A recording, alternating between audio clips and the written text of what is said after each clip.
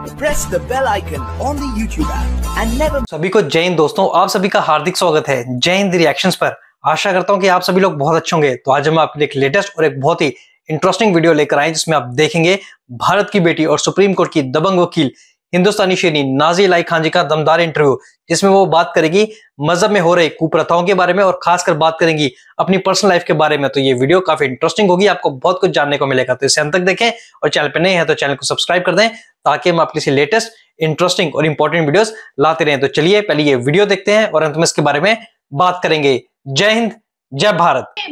बहुत सारी मतलब कुप्रथाओं को, बहुत सारे इडियोटिक इस्लामिक रिचुअल्स को, बहुत सारे नॉनसेंस इस्लामिक रिचुअल्स को उन्होंने एकदम रफा दफ़ा कर दिया है। जहाँ एक तरफ़ सऊदिया में बहुत बड़े बड़े म्यूज़िक कॉन्सर्ट हो रहे हैं, जहाँ एक तरफ़ अरब में अरब के, अरब की सरजमीन पर 27 एकड़ की मंदिर बन रही है, प्राण प्रतिष्ठा हो रही है, जहाँ एक तरफ़ अरब में अल्कोहल जो है वो उनके ब्यूरोक्रेट और जो बाहर से विदेश से आ रहे हैं अदर कंट्रीज़ से आ रहे हैं, उनको सर्व करने की, करने का पूरा इंतज़ाम हो चुका है, जहाँ अरब में एक तरफ़ सिनेमा हॉल्स खुल चुके हैं, जहाँ एक तरफ़ फीफा वर्ल्ड कप की बात हो रही है आईपीएल वर्ल्ड कप की बात हो रही है ब्यूटी कॉन्टेस्ट भी हो रहे हैं दो साल पहले भी हुए हैं। और ये जो रूमी जो 27 साल की हैं क्या नाम है इनका? हाँ। रूमी अलकहतानी रूमी अलकहतानी ये ऑलरेडी मिस अरब है ऑलरेडी मिस अरब है ये। अब ये मिस यूनिवर्स में आ रही हैं। तो ये एक बहुत बड़ा इंडिकेशन है ये एक बहुत बड़ा मार्गदर्शक है पाकिस्तान और भारत के मुसलमानों को अपने आप को रिफॉर्म करने का। बहुत बड़ा है। हाँ। यहाँ एक तरफ़ अरब में मतलब अरब में रहने वाली औरतें खातन भी हज और उम्र जो है वो अपने मर्द के साथ जाकर करती थी। अब देखिए आप अरब में औरतों को जब बायलेटरल रिलेशन होते हैं या अलग अलग कंट्रीज़ से जब बड़े लीडर्स आते हैं तो वहाँ पर महिलाओं का एक इम्पोर्टेंट रोल दिया जा रहा है। अच्छा मोहम्मद मोहम्मद बिन सलमान साहब ने क्या किया है? औरतों को अब ड्राइविंग लाइसेंस दे दिया है कि अब वो अकेले अकेले ड्राइव कर सकती हैं। अच्छा हज में भी हज में भी अब उन्होंने कहा है कि अब अकेले जा करके कर सकते हो आप लोग। फिर मोहम्मद बिन सलमान ने क्या किया है? कि भाई पासपोर्ट में ए, एक गार्जियन का होना ज़रूरी है और वो गार्जियन मर्द होता था अब इंडिविजुअल पासपोर्ट बन सकता है। सिर्फ़ औरतें भी जाकर के अपना पासपोर्ट बना सकती हैं और औरतें आराम से फ्लाई करके पूरी दुनिया घूम करके आ सकती हैं।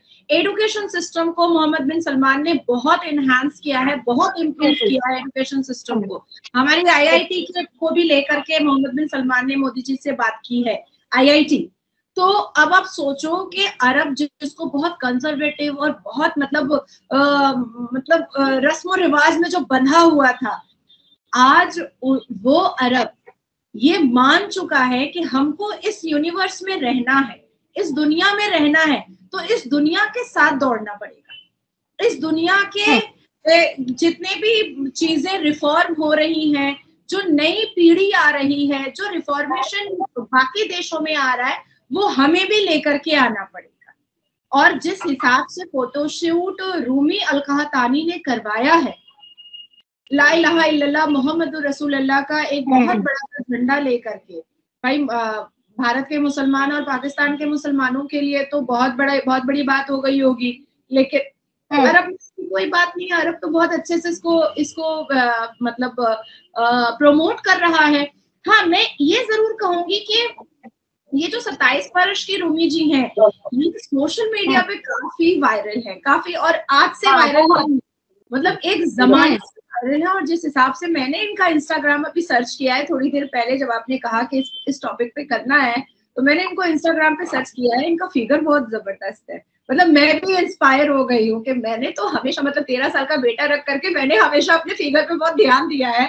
अपने अपने मतलब स्किन पे बहुत ध्यान दिया है और एक्सरसाइज योगा तो मैं कभी छोड़ती ही नहीं हूँ। तो इनको देख करके मुझे ऐसा लगा है कि नहीं, थोड़ी मैं पीछे रह जा रही हूँ और, क्या गजब का फिगर बनाया है इन्होंने।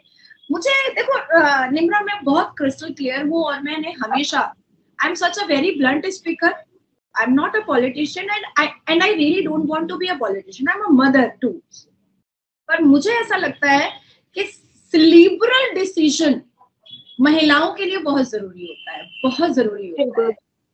और एक क्वेंटिसेंशियल एग्ज़ाम्पल महिलाओं को बनना भी बहुत ज़रूरी है बहुत ज़रूरी है।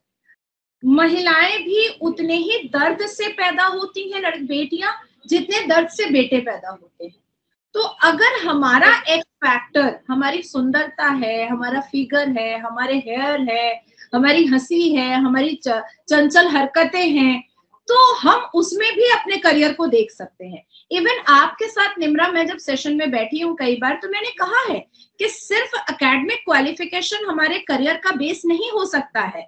मैंने कई बार कहा है कि हमारे देश की और बाहर देशों की बेटियों को भी सिंगर भी बन सकती हैं, उसमें भी करियर होता है, स्पोर्ट्स पर्सन बन सकती हैं, उसमें भी करियर होता है, स्विमर बन सकती हैं, उसमें भी करियर होता है, मॉडल बन सकती हैं, उसमें भी करियर होता है, एक्टर, एक्ट्रेस बन सकती हैं, उसमें भी करियर होता है।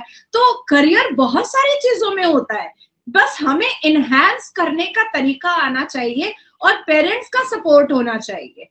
जैसे आपके यहाँ मैं एक यूट्यूबर के साथ बैठती हूँ, महविश, वो शायद मॉडलिंग करती हैं। और उनका फिगर हाँ। उनका उनका फिगर तो मैं मैंने सही से नहीं देखा है लेकिन फेस का जो स्ट्रक्चर है वो वो आ, मतलब वो अपने फेस के स्ट्रक्चर के साथ वो जस्टिस कर रही है। जैसे निम्रा आप हम्म। आपने मैंने फिगर को भी देखा है क्योंकि काफ़ी फोटोग्राफ आपके मेरे पॉपअप पे आते हैं। सो आई थिंक आपको भी चांस लेना चाहिए डेफिनेटली चांस लेना चाहिए। और इस यूनिवर्स के अंदर आप किसी चाँद पे तो नहीं रहती है ना आप सूरज पे तो नहीं रहती है ना। तो आप अगर इस धरती पर रहती हैं इस दुनिया में रहती हैं तो इस दुनिया के हिसाब से तो आपको दौड़ लगानी पड़ेगी। और अगर आप इस दुनिया के हिसाब से दौड़ नहीं लगाइएगा तो आप बहुत पीछे रह जाइएगा। और उसका सबसे बड़ा रीजन है कि आज पाकिस्तान खबरिस्तान के कगार पे आ चुका है। आज पाकिस्तान का कोई वैल्यू नहीं है। अब आती है दूसरी बात कि भाई निमरा मुसलमान है नाजिया आप भी मुसलमान है। तो ये रूमी जो है ये भी तो ये तो अरब की है भाई ये भी तो मुसलमान है। तो जब अरब इतने बड़े बड़े रिफॉर्मेशन के डिसीज़न ले सकता है।